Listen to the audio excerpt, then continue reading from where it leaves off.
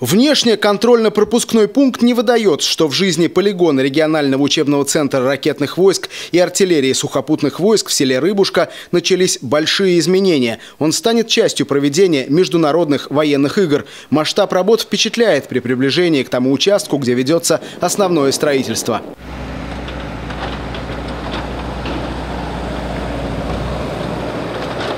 Абдулла Абдулаев здесь с самого начала работ. Перед вами возведение так называемой трибуны. Отсюда будут наблюдать за мастерами артиллерийского огня. По некоторым данным, стрельбы будут проходить по принципу лыжного биатлона. За неточные попадания прибавляется время прохождения дистанции.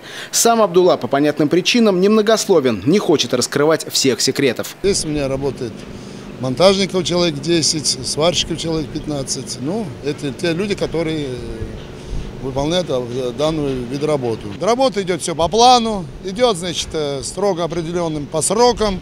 Вот, э, укладываемся мы во времени. Значит, э, я думаю, это здесь находится трибуны для высшего командного состава. Позади трибуны еще одна часть новой инфраструктуры военного полигона. Укладывается асфальт на парковке для приезда гостей, состязаний и приглашенной прессы. Судя по размерам будущей территории парковки, приедут сотни людей.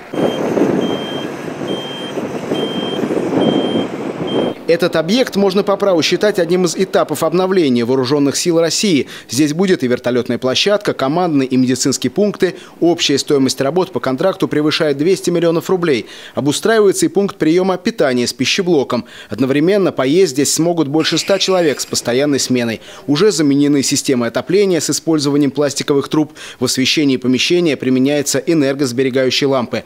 Неподалеку строители готовят помещение клуба для проведения свободного времени времени военнослужащими. И все это лишь часть тех секретов, что раскрыли перед нами. Окончание работ по подготовке объекта намечено на конец июня.